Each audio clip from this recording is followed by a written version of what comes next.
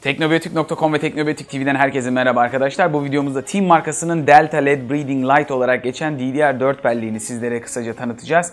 Öncelikle belleğin adında da yazdığı gibi LED Breathing Light dediği nefes alıp verebilen kırmızı ledler bu burada görmüş olduğunuz üst bölümde. Birazdan da kutusunu açıp sizlere detaylı göstereceğiz çalışan halinde.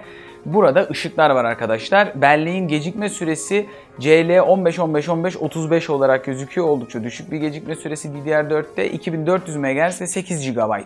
Tek modül.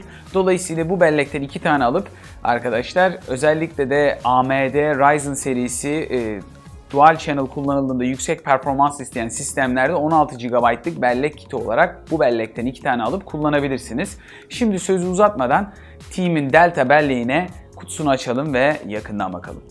Evet arkadaşlar Team Delta'yı kutusundan çıkardık. İlk olarak belleğin çok yüksek olmadığını ve ince olduğunu söyleyebiliriz şu şekilde döndürdüğümüz zaman.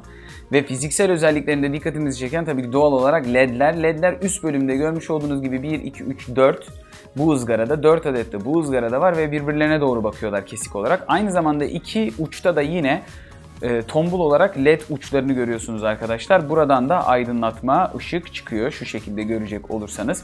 Belleğin soğutucuları Team'in diğer belleklerinden de alışık olduğunuz üzere bütün bellek çiplerin üzerine doğrudan değecek şekilde belleğin iki tarafında da aynı şekilde mevcut. Biz tekrar bu tarafa etiketsiz olan tarafa gelelim daha sade olduğu için. Arkadaşlar görmüş olduğunuz gibi piyano siyah tarzı parlak ve mat siyahın çizgilerinin buluştuğu aynı zamanda ortada da kırmızı delta yazısıyla ledin görselinin olduğu güzel bir görüntüye sahibiz. Işığın farklı açılarında belleği şu şekilde çevirerek sizlere üzerindeki tonları gösterelim. Birazdan belleğin çalışır halini de göreceksiniz.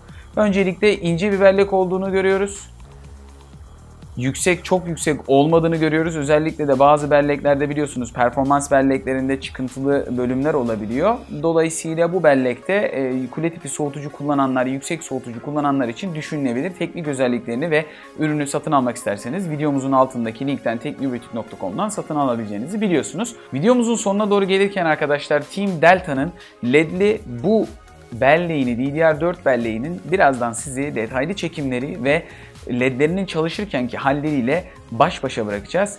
Ancak videomuzun her videomuzun sonunda belirttiğimiz gibi teknobiyotik.com'a ve bizim Teknobiyotik TV kanalımıza destek vermek istiyorsanız videomuzun altındaki linklerden ürün satın alabilirsiniz ya da herhangi bir başka bir ürünü satın alabilirsiniz. Videomuzu paylaşarak videolarımızı bizlere destek verebilirsiniz.